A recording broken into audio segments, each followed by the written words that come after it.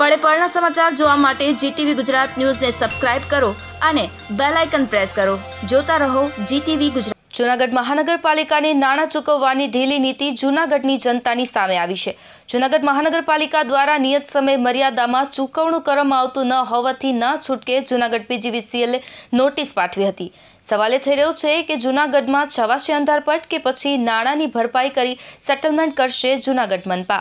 જૂનાગઢ મહાનગરપાલિકાની નાણાં ચૂકવવાની ઢીલી નીતિ જૂનાગઢની જનતા સામે આવી છે. જૂનાગઢ પીજીવીસીએલ દ્વારા નોટિસમાં જણાવાયું છે કે શહેર વિભાગીય કચેરી જૂનાગઢના કાર્યકરો હેઠળ આવેલા વિભાગીય કચેરી, સેન્ટ્રલ જીઆઈડીસી, ગાંધીગ્રામ અને સેટેલાઇટ દ્વારા માટે વીજ બિલ બનાવી નિયત સમય મર્યાદામાં જૂનાગઢ મહાનગરપાલિકા કચેરીએ મોકલવામાં આવે છે.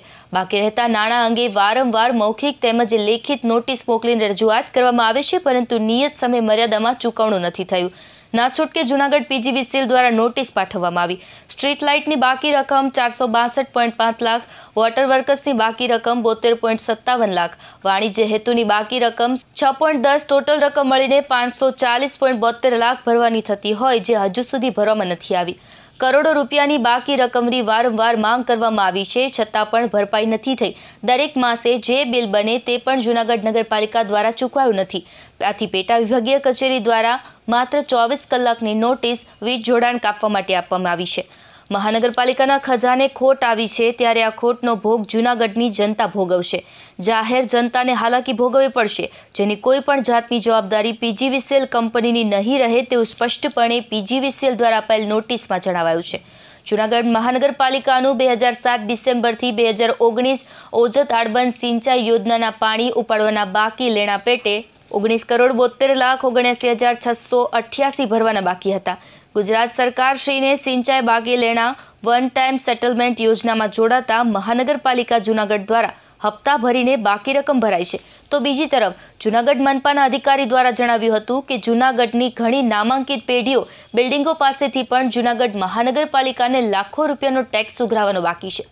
બીજી તરફ પીજીવીસીએલે પણ જૂનાગઢ શહેરમાં ઊભા કરેલી પોલની રકમ મહાનગરપાલિકાને ચૂકવવાની બાકી છે.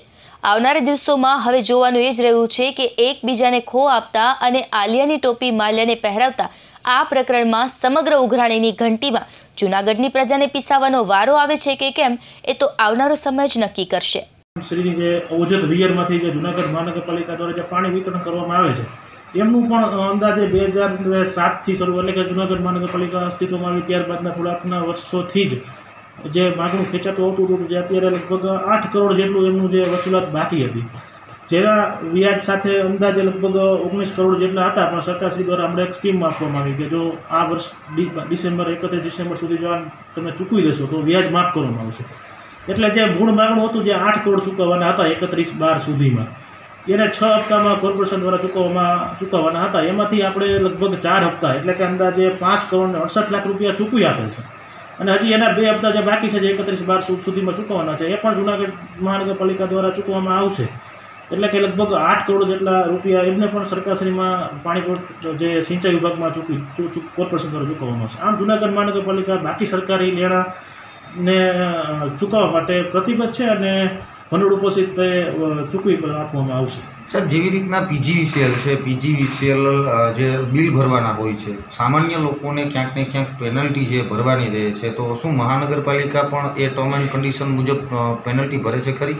હા પીજીવીસીએલ દ્વારા જે પણ એના જે નિયમ મુજબ અત્રેને જે ચૂકવ ટૂંકમાં જે લગાવવામાં આવે છે ચાર્જિસ કે જે પણ એ પણ મહાનગરપાલિકા દ્વારા પણ ચૂકવી આપવામાં આવે છે. આ ઉપરાંત બીજી એક હકીકત ઉપર આપણું ધ્યાન દોરું કે જે રીતે પીજીવીસીએલનું કોર્પોરેશન પર માગણું નીકળે છે, એ જ રીતે જૂનાગઢ મહાનગરપાલિકામાં દ્વારા પણ જે હાઉસ ટેક્સ ને અન્ય જે વેરાઓ લેવામાં આવે છે, એવી અન્ય સરકારી બિલ્ડિંગો ઉપર પણ કોર્પોરેશનના પણ લેણા નીકળતા હોય છે. સમયાંતરે કોર્પોરેશન દ્વારા પણ એ લોકોને પણ જાણ પણ કરવામાં આવતી હોય છે અને વિવિધ સ્તરે જે લગત અધિકારીઓ સાથે અત્યારનું અગત ધ્યાન દૂર પણ દોરવામાં આવતું હોય છે. વનરાજ ચૌહાણ સાથે અશોક બારોટ જીટીવી ન્યૂઝ, જૂનાગઢ.